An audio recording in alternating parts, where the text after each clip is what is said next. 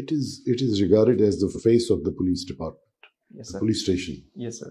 So what's wrong with this face?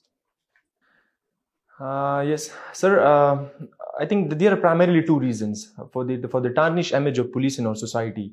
I think one is uh, that there is a very lack of community policing in Pakistan. To be honest, uh, I've been abroad in Finland and I've seen they are mostly implementing the community policing a lot. Like for example, by community policing, I mean they've made the community as part of the police. They do policing using the same community.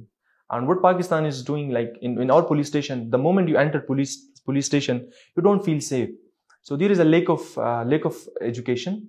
I would say there is not technologic savvy. Our police policing is not e-tech. We can move toward e-policing, and there is a lot of people to people contact. So the moment we stop that people to people contact, if we make it e-tech, like for example, I would say, so for example, we have started FIR online FIR, but still the people have uh, people have not not aware of that uh, technology because due to lack of education.